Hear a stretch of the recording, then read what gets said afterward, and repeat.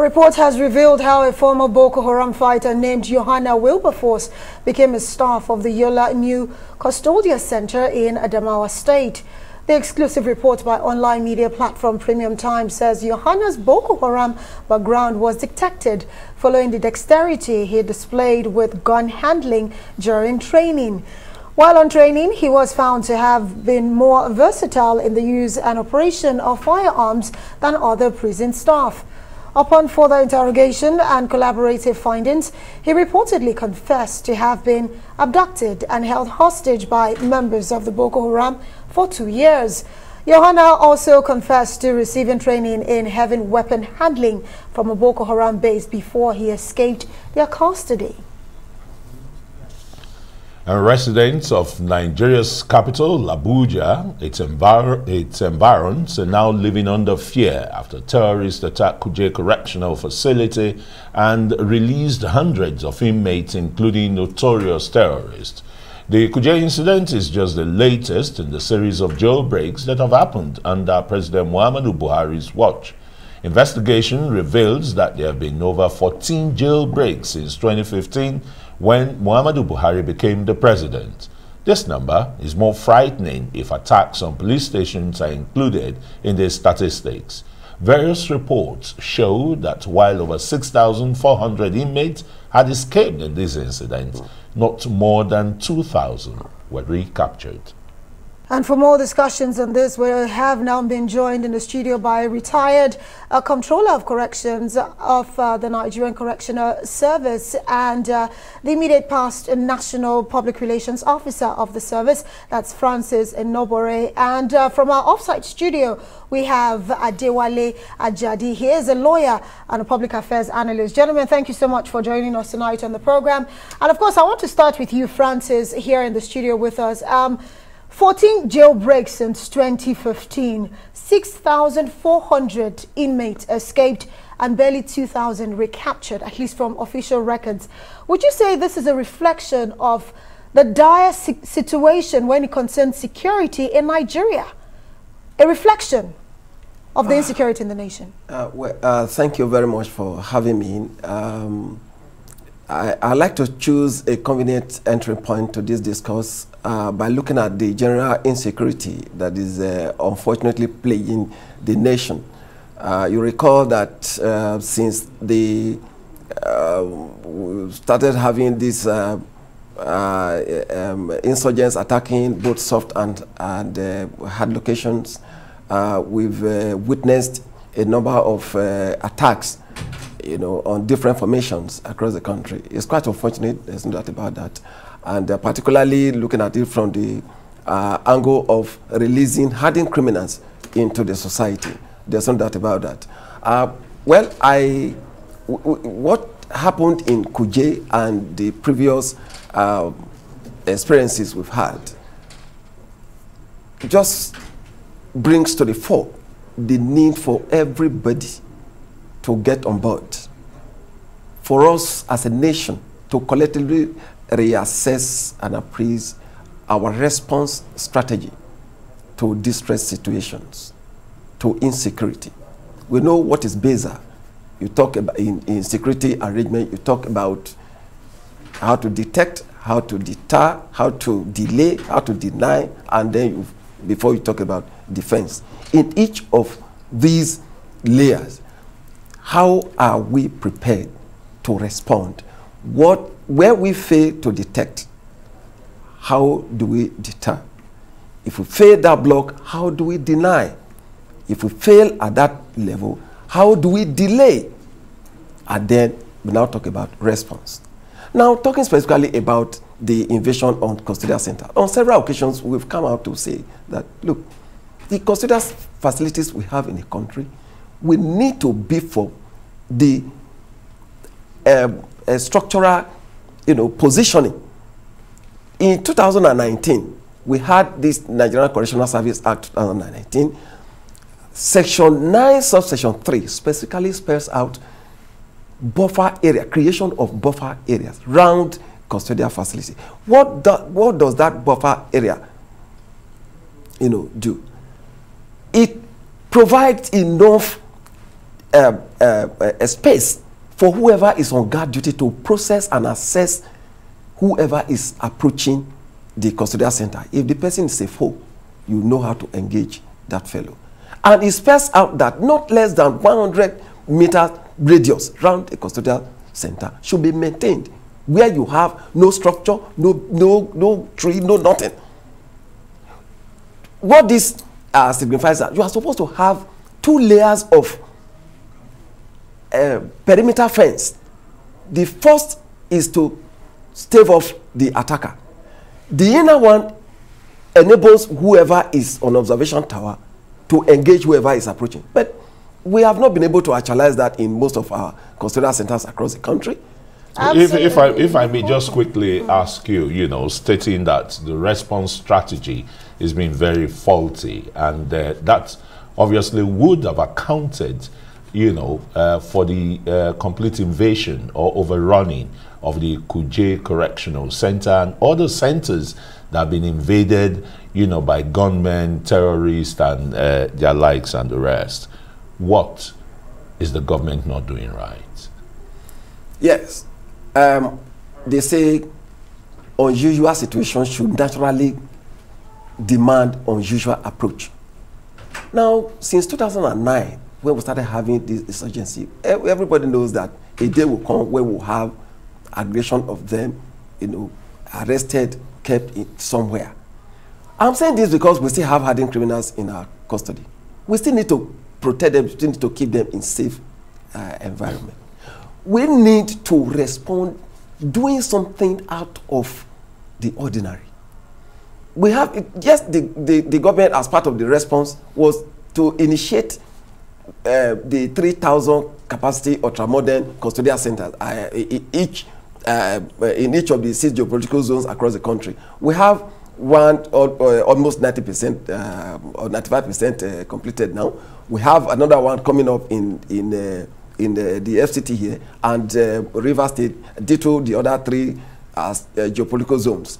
But the pace at which these structures are going is to, to me I, I, I don't feel comfortable about it. We are faced with an unusual uh, uh, you know uh, uh, uh, incidents attacks of these insurgents. Let us expedite action in putting these structures in place so that you when you have hardened uh, criminals like this you can take them to safe environment where uh, the buffer area like i said is uh, can be maintained you have enough lighting, you have the structures are strong enough to withstand the caliber of people in custody. So these are things, and we need to also uh, reinforce our information generation uh, uh, strategy. That is intelligence. Everybody must get involved. Intelligence. Intelligence is one uh, critical area. Well, Adewale, I want to come to you in our offside studio right now. You have heard Francis. He's actually listed some of the issues and what he feels are partly the solution to the issue. But let's look at it generally. Atiku Abubakar, uh, the candidate of the PDP, said non-prosecution of terrorists arrested is probably fueling insecurity and also even leading to this jailbreak that we've seen become so incessant. Do you agree with his stance that we need to fast track their prosecution and maybe might avoid such a situation from happening like what we saw a few days ago in Kuje? Well, thank you for inviting me. Um, I think that he, I, I wouldn't agree entirely with him. I'm not sure what his angle is, but there is a need for reform of the criminal justice system. 70% of the prisoners or more in our jail systems are under detention, are awaiting trial. That is not sustainable. It hasn't been sustainable. This has been happening forever in our country. The fundamental issue is that the reforms of 2019, if properly implemented, goes a long way in terms of the prison services, but there needs to be work done on the judiciary. The, the capacity of the judiciary to process, to, to decide cases, to fast track cases, the detention of people for 10 years, 12 years, sometimes 20 years, um, um, before their trial is completed or even initiated is unsustainable. But I don't think that you can reform overnight. I don't think that, you know, let's look at it honestly. A government that is struggling to raise revenue because we pay so little taxes and we generate so little at the moment is going to find it difficult to justify investing a lot on the criminal justice system. We have other priorities. So there are challenges, and the implementation process is going to take some time. But having said that, we have to be wary and concerned about the fact that we are making some progress in the Northeast, displacing these terrorists, and, and they're coming further down south. The government should have been prepared for that danger and should be ready for that danger. But the overcrowding of our prisons, the, the, the fact that the, the prisons are supposed to take half of usually the people that we put in there is unsustainable. Yeah, thank you very much, um, Adewale. Let me return to you, Francis, with your vast experience, you know, as a controller, a retired controller of uh, corrections and uh, former spokesperson. How correctional would you say the correctional centers are in Nigeria?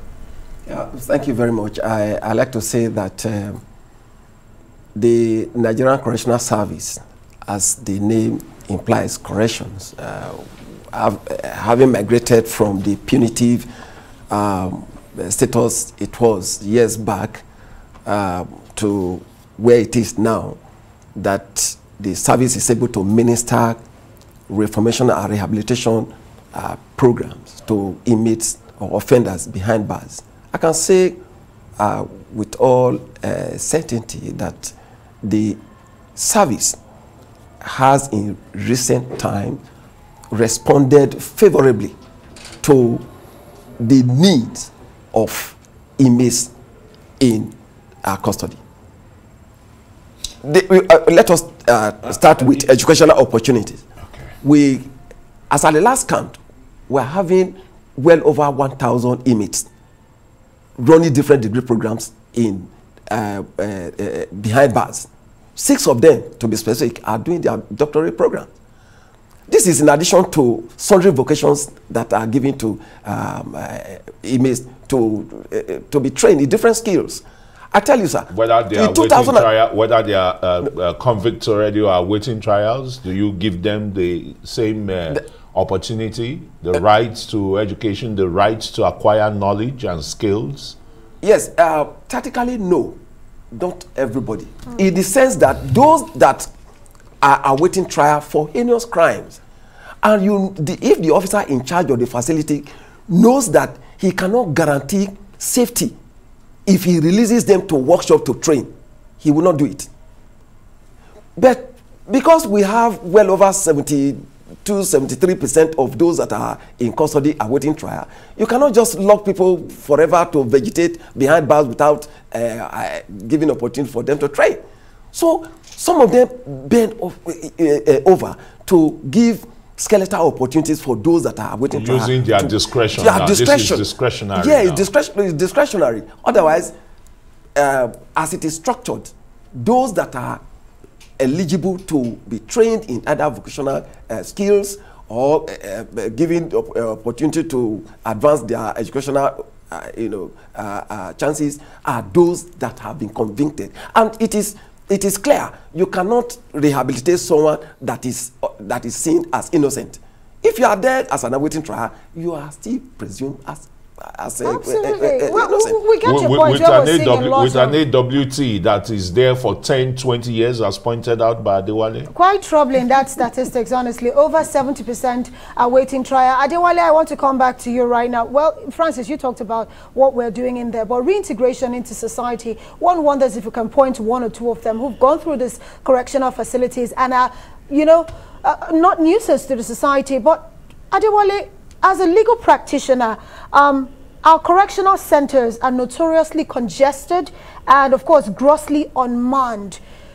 Dispensation of criminal justice. You touched on it a little bit earlier on, but I want to get you to talk to us about, yes, it's a holistic change that we need. But what are the key areas we need to start working on in terms of change so that way we avoid such a situation where over 70% of our inmates are still awaiting trial, some over 20 years.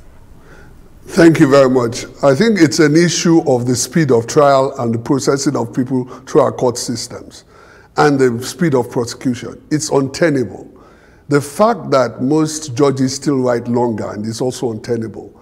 We have to find a way and a system that allows us to speedily try people to use all the technology that is available to us to make sure that trials and processing of people through the, the judicial process is fast. I mean, we in fact believe in law that justice delayed is justice denied. How can you put someone in detention for 10 years? How, how, how, it's plainly ridiculous. It's untenable. It's unsustainable. You have actually punished the person, even though you are presuming them to be innocent. It's, it's, it's, a, it's, a, it's a source of great anger. And it's something that somehow or the other we have to find the resources to prioritize. Because we are creating problems. And then we then react after the thing has happened. We say, okay, there's prison break. But if you overload the prison and you create a situation where the structures are not sustainable, and then you complain after the fact, and then you blame you blame one party or the other, I'm, I'm sick and tired of us finding someone to blame. It's about time all of us across the board took an holistic stance about how we create a society that's not fit for purpose. The, our judicial system is currently not fit for purpose. If people have been in jail for years who would have not been prosecuted, it's not sustainable. I don't, I mean, it's incensing to just listen to us talk about it after the thing has happened. We have seen this thing coming for years.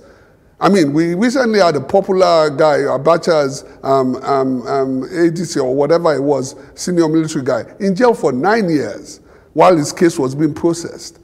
That's not sustainable way of handling in a, in a country like ours. So we need to get, make sure that the courts have a speed of processing, that we use technology wherever possible, that we don't load everything on judges and they don't load everything on themselves, that there are checks and balances through the system, that lawyers take responsibilities for not delaying and putting in motions that are necessary to delay cases, that we recruit people into the justice system, that we make sure that we professionalize the paralegal services for, across the board, the support systems. We put in place probational services. We put in place non-custodial sentences that can be acted. And then we put parallel cases for smaller offenses outside the court system so that they can be properly handled quickly. We need a proper reform of our judicial system. We don't fix things in prison. By the time you get to prison, it's too late. Really too late indeed. But uh, let me turn to Francis again. Would you say it is uh, too late to the kind of uh, memorandum of understanding that the British government was uh, was going to or had suggested for the federal government about repatriating some Nigerian prisoners from the UK to your correctional centers. With the state of the correctional centers, how you know uh, germane is such a repatriation? Uh, thank you. The MOU on uh, migration um, uh, returns uh, was signed uh, in February this year. Um, the issues uh, you know, that were raised had to do with the state of our infrastructure, the, what we have on ground to uh, reform and rehabilitate offenders that are in our custody. They also raised the issue of early releases. Um, it's it's, it's uh, interesting to note that these three issues that were raised in the MOU have all been meant by uh, the Nigerian government. It's not because of the MOU that the Nigerian government rushed to put these things in place because it actually uh, started way back in 2018 when the concept of uh, building 3,000 ultramodern uh, correctional centers started and then uh, many more were rehabilitated. The early releases that they also uh, raised uh, issue about, we have it now in our uh, Nigeria Correctional Service Act 2019. Uh, we have provisions for parole, uh, which uh, was of a great concern to them because they, they didn't want a situation where someone sentenced to uh, a term of imprisonment will end up spending the entire period behind bars. The issue of rehabilitation and reformation that they also talked about, I told you that we have a robust educational program uh, that we uh, give uh, opportunities to inmates that are so interested. And of course, we also encourage them to go in to uh, avail themselves. Uh, in addition to sundry vocations that are available for them to be trained. So those issues have been met. There's no problem about uh, that uh, MOU. Um, uh, it's a pity that this unfortunate incident of Kuje happened. Otherwise, there have been a paradigm shift from what the correctional service used to be in the past to a, a, a phase where we're beginning to sing, uh, you know, songs of success. It's just well, unfortunate that that uh, Francis, some would argue and say Nigeria, our problem is not lack of laws, but it's implementation of said laws. Because you talked about what is available. Most Nigerians don't even know that we have parole available in the country. But let's uh, wrap up this conversation right now um, with Adewale, who is in our, our offsite studio. Let's look at the fact that, you know, there's been accusations of connivance, you know, of... Correctional officers and other security agents in these correctional services with some inmates, we hear that privileges can even be bought in there. Means that some of these jailbreaks, if some of these things are not checked, we might see a reoccurrence. But let me ask you as we wrap up this conversation, what would you say will be the way forward to avoid more jailbreaks in the future in Nigeria? Well, thank you for asking that question again. I mean, the reality is that we have to give um, um, respect where it's due. The government has done some things. But we're not going to get into a zero defect situation. There's always going to be the tension with jailbreaks in this country. I mean, until you have the numbers, until you start to sort out prisoners, you professionalize the process of sorting out medium security from um, vice security prisoners, and then protecting high security prisoners heavily, making sure that people in detention are kept away from people who are collective uh, prisoners, not overcrowding the spaces. There's going to be challenges, and it's not going to happen overnight. If we lie to ourselves, we're, we're just playing with this issue.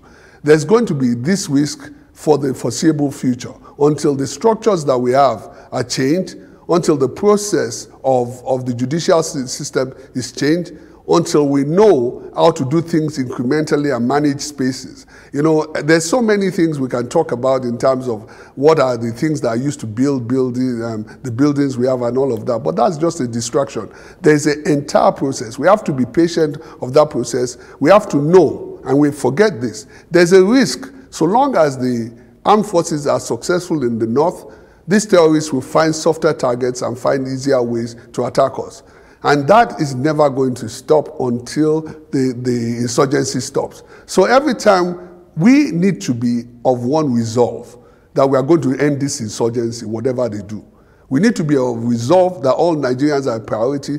We need to support the government on issues like this and not be divided, whatever the terrorists do, because their goal is to divide us and turn us against each other. So divide long as we conquer. do that, we will win well, thanks so very much, uh, Adewale Ajadi, as a lawyer and a public affairs analyst, for the uh, great insights you've given. And right here in uh, our studios, Francis Enobore is a former spokesman and uh, retired controller of uh, Corrections Nigerian Correctional Center. Thanks, gentlemen, for being part of Newsnight.